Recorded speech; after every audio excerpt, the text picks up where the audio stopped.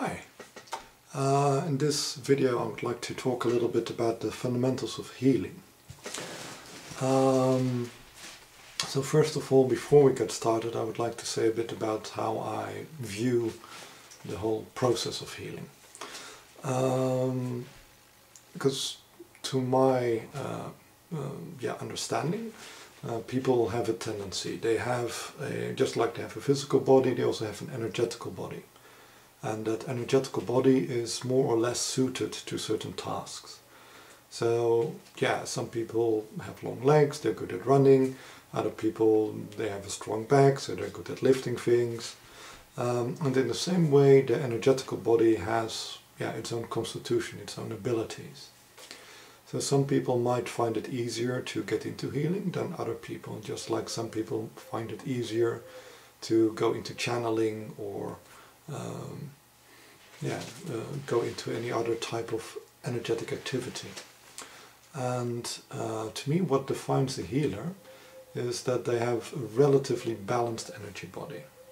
So some people have an energy body which is very sensitive, which is very receptive, so they're very good at reading energies um, because everything impacts on them and they are unbalanced, influenced by this. But if this tendency is too strong, then spending a lot of time with people who are unbalanced or who have heavy or negative energies can be too heavy for you. So you can't yeah, stay a healer if you have a, too much sensitivity. On the other side, you have people whose energy body is very good at projecting energy and this generally requires a strong willpower, uh, a strong personality. Um, but if this is too strong, then the person is just overbearing. He just imprints his own energy on everybody else, uh, forcing them into more or less yeah, his path or her path, and in a way just cloning uh, or propagating his own energy in other people. And this is great for a leader, but it is not great for a healer, because a healer should actually give back the person to him or herself. So a healer's energy body has a balance between the ability to manipulate energies and the ability to be sensitive to energies. But more importantly, a healer has a sense of harmony, a sense of balance. Um, because there are of course many different healing techniques, many books, many theories of how to heal. Uh, but ultimately a person is a person, it is not some model out of a book. And if you try to squeeze people into your own model or system of what they should be like, that tends to not to work or, well, work out horribly. Uh, so you need to be sensitive to the person you're working with. What is it what he or she wants? What is it he or she is moving to? and their idea of health and balance can be very different from your own uh, yeah, system's health and balance. So you really need to be able to understand the person you're working with, to feel them, to feel how they are reacting, instead of just imposing blindly what you think is right upon them. Um, so if you do have the right yeah, energetic body and the right um, mindset to, uh, to be a healer, then of course there are loads and loads of different healing forms which are being offered right now. And um, it's important to realize more or less what is your own nature to find a form of healing which is suitable for you. But all forms of healing also have certain things in common.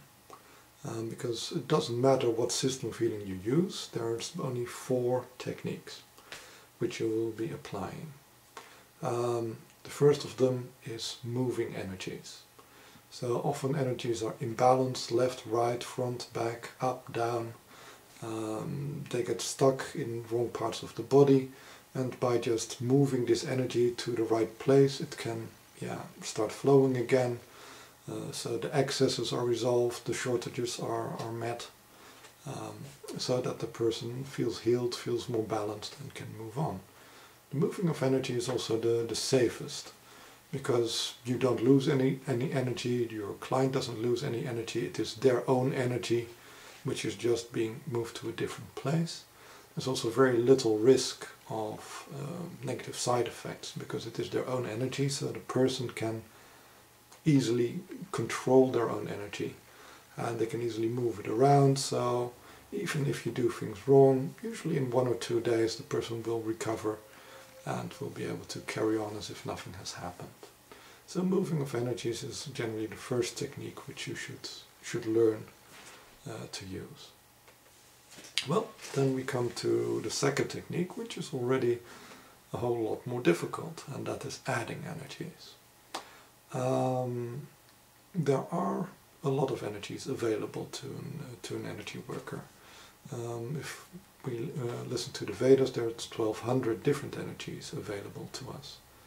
So the energy body is made up out of 1200 different energies, but not all of them are equally important. There are lots of individual differences on what is the, uh, what are the major energies. Depending on the personality, their astrological uh, makeup, the food they eat, different energies will be more dominant or more in a following role. And it is very important